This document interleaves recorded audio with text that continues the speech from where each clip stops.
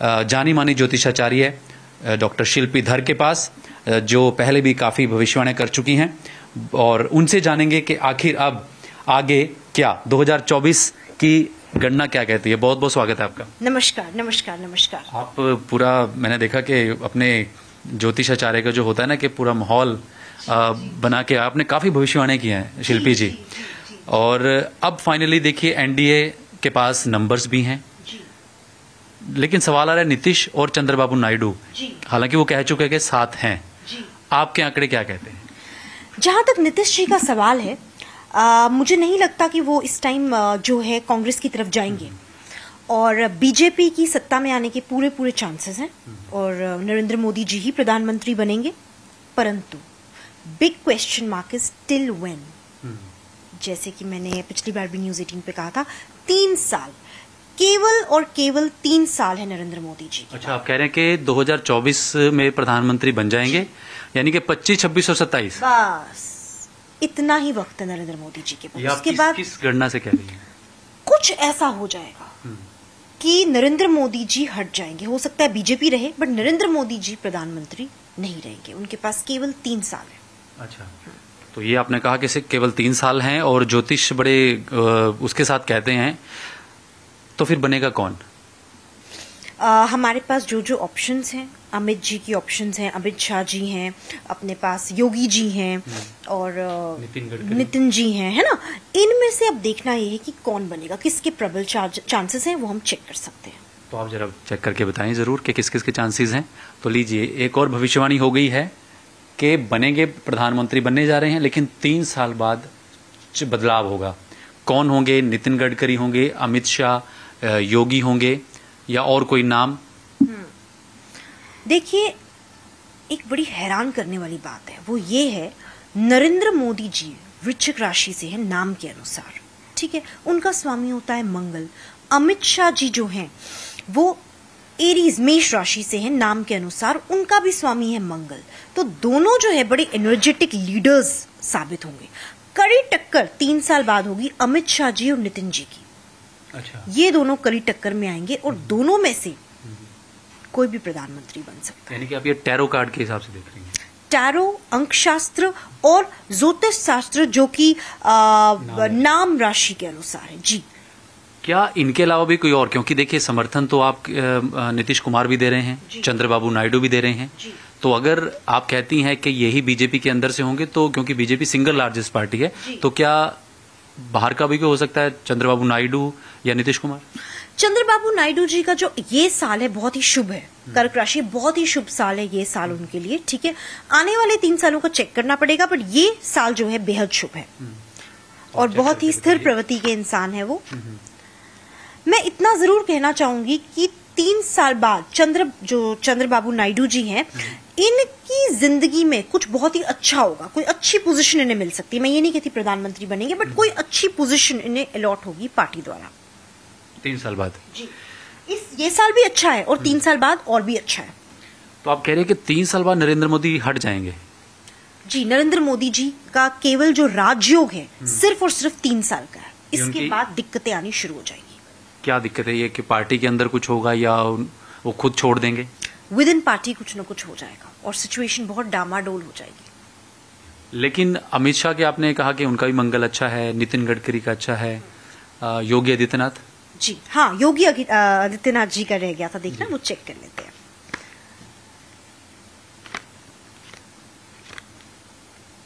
ये साल भी अच्छा है इनके लिए और जो आने वाले तीन साल हैं वो और भी अच्छे हैं। मतलब इस साल के कंपेयर जो तीन साल बाद की सिचुएशन होगी वो योगी जी के लिए अच्छी होगी।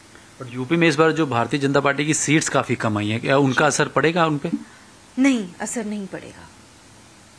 ये हमें इस टाइम जो दिख रहा है एक भ्रम की तरह है राहु की तरह है। इस टाइम पे जो दिख रहा है वो आने वाले कल का संकेत नहीं है यूपी के लिए। तीन साल बाद परिस्थिति कुछ और होगी। योगी जी एट प्रेजेंट उनपे जो एट मतलब टू हिज पर्सन कुछ इफ़ेक्ट नहीं होगा योगी जी को। योगी जी और आगे बढ़ेंगे। यूपी पे ज़रूर जो इस टाइम आया है कांग्रेस का ज़्यादा आया है लेकिन योगी हारेंगे नहीं। आगे आने वाले कल में उनका और उद्धार होगा। मतलब विधानसभा चुनाव भी है यूपी हाँ तो वो भी आगे जाएँगे। हम्म। मतलब ये जो हुआ है इसका योगी जी से आ, पार्टी की ज़रूर मतलब वो कहेंगे हार हुई एक तरीके से लेकिन जो योगी जी है उनका आगे उन्नति उन्नति है। अच्छा शिल्पी जी ये जो आंकड़े आए हैं ये बहुत से ज्योतिषियों ने कहा 300 एग्जिट पोल भी आए बीजेपी को एनडीए को 400 बता रहे थे खुद नारा था। वो कहीं नहीं रहा। बीजेपी भी दो बहत्तर का आंकड़ा नहीं छू पाई। ये क्या आपको लगा ये होना था या ये स्वाभाविक था कि क्या था ग्रह ऐसी थी या सिर्फ़ नारा दिया गया था? क्योंकि आप आपसे भी काफ़ी लोगों ने सवाल किए होंगे। तो ये क्या था बेसिकली प्रजा की जीत हुई है, डेमोक्रेसी की जीत हुई है। किसी पार्टी के पक्ष में मैं नहीं कहूँगी बट जब भी ऐसी कोई रिज़ल्ट ऐसा कोई रिज़ल्ट आता है, जब एक पार्टी का बहुत ज़्यादा एक्सेस में रिज़ल्ट नहीं आता है ना, बहुमत नहीं आती तो इसका मतलब ये होता है कहीं ना कहीं प्रजा जो है मिक्स्ड तरीके से चुनाव कर रही है, एक तरीके से न्यूट्रल चुनाव हो रहा है डिक्टेटरशिप कहीं नहीं है। अभी तक कुछ लोग कहते थे डिक्टेटरशिप है, अगर डिक्टेटरशिप होती तो ऐसा होता ही नहीं रिज़ल्ट ऐसा आता ही नहीं। दैट मीन्स डेमोक्रेसी की जीत हुई है, प्रजा की जीत हुई है। जहाँ सवाल रहा एस्ट्रोलॉजर्स का, देखिए भविष्यवाणी जो है स्पेक्यूलेटिव काम में, भविष्यवाणी का इतना रोल नहीं होता, है ना? ये स्पेक्यूलेटिव है पॉलिटिक्स इज़ स्पेक्यूलेटिव है ना? फ़िल्म इंडस्ट्री इज़ स्पेक्यूलेटिव जहाँ आंकड़े ऊपर नीचे पल पल होते हैं, क्योंकि ये राहु से गवर्नड है। राहु अपने आप में एस्ट्रोलॉजर्स के भी ऊपर माना जाता है, क्योंकि वो ब्रह्म का प्रतीक है, देवताओं को भी वो भ्रमित कर गया। तो एस्ट्रोलॉजर्स देवताओं के आगे तो क्या ही है है ना? तो ये राहु से गवर्नड है सारी चीज़ पॉलिटिक्स हो या फिर फ़िल्म इंडस्ट्री हो, ये राहु गवर्नड है। तो नाम राशि से भी आप ये तो टेरो कार्ड के आपने कार्ड देखे। नाम राशि से अगर बात करें तो नरेंद्र मोदी का आप बार बार ज़िक्र करें तीन साल बाद वो बदलाव होगा। ये उनकी टेरो कार्ड रीडिंग से देखा या नाम राशि से देखा ग्रह क्या है? ये बेसिकली एक हो गया टैरो कार्ड एक हो गया ग्रह राशि हो गई एस्ट्रोलॉजी हो गई अंक शास्त्र कई बातें, कई भविष्यवाणियाँ नहीं कह सकते हम बट कई चीज़ें ऐसी होती हैं जो शक्तियों के द्वारा भी कही जाती हैं और जो इन चीज़ों के भी ऊपर होती हैं। तो जो राजयोग की मैं बार बार ज़िक्र कर रही हूँ, नरेंद्र मोदी जी का राजयोग केवल और केवल तीन साल का रहा अभी तीन साल ही will enjoy Rajyog to the fullest जब पंजाब की बात कर लेंगे क्योंकि हम पंजाब में बैठे हैं, अभी आम आदमी पार्टी की सरकार है।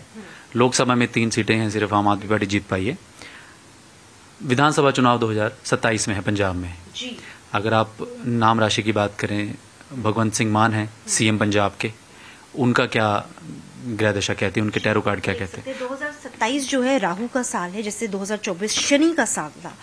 तो शनि हमेशा कर्मों अनुसार फल देता है लेकिन राहु जो है वो किसी भी वक्त पलटी खा सकता है। और राहु का साल है 2027